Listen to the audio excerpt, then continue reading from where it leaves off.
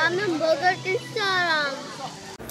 안녕하세요 담비스입니다 오늘 먹어볼 건 롯데에서 나온 감귤 먹은 서울 새우입니다 저번에 딸 저기 뭐야 초코하고 그 다음에 오렌지 연 저 오렌지였네 분홍색 뭐였지 그때? 네, 그거 또두개 나왔었는데 이번엔 감귤 먹은 새우가 나왔는데 바삭한 새우 과자에 감 상큼한 감귤 맛이 가득 들어있는 제품이고요 편의점에서 1,500원인가 정도에 구입을 했습니다 자 어떤 제품일지 감귤이 한 3% 들어있는데요 생새우도 들어있고 새우깡에다가 위에다가 이제 그 코팅을 해가지고 그 감귤 맛을 써- 씌운 거라고 보시면 될 것 같고요 개인적으로 초코는 괜찮았는데 그 바닐라인가 그 분홍색은 도대체 무슨 맛인지 애매하더라고요. 전 보시면 영양 성분이 당류가 12g입니다. 총 제공량이 40g 중에 한 4, 4분의 1이 넘어간다는 얘기고요. 자, 나트륨 뭐 그런 건 뭐 별거 없는 것 같은데. 자, 녹지 않게 해서 얼려 먹으면 얼려 먹으면 더 맛있다고 돼 있네요. 알았으면 얼려 먹었을 거. 자, 뜯어봅시다.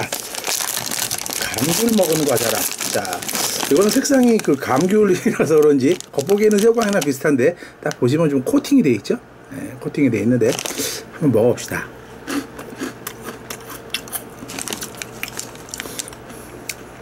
독특하네요 또.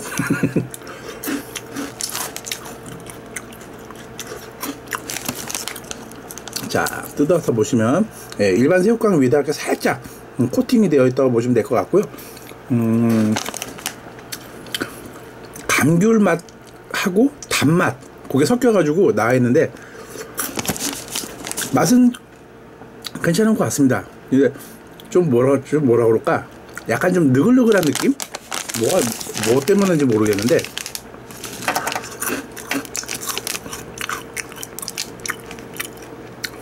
조금 살짝 조금 저 뭐야 재료바 쓰는지 모르겠는데 약간 좀 느글한 느글한 느낌이 살짝 나고요.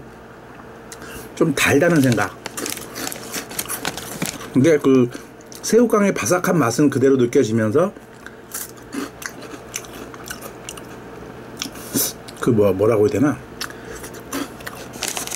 그 상큼한 맛과 단맛이 느껴지는 정도라고 보시면 될 것 같은데 그냥 괜찮은 것 같- 같긴 한데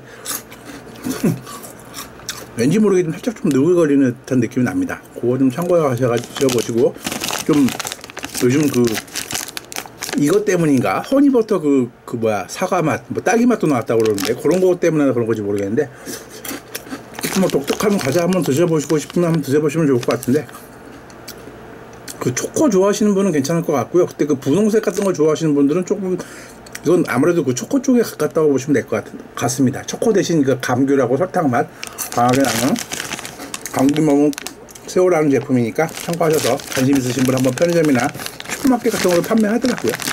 맛있게 드셔보시기 바라겠습니다. 안녕히 계세요.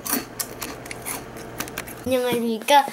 구, 구독하고 추천해주세요.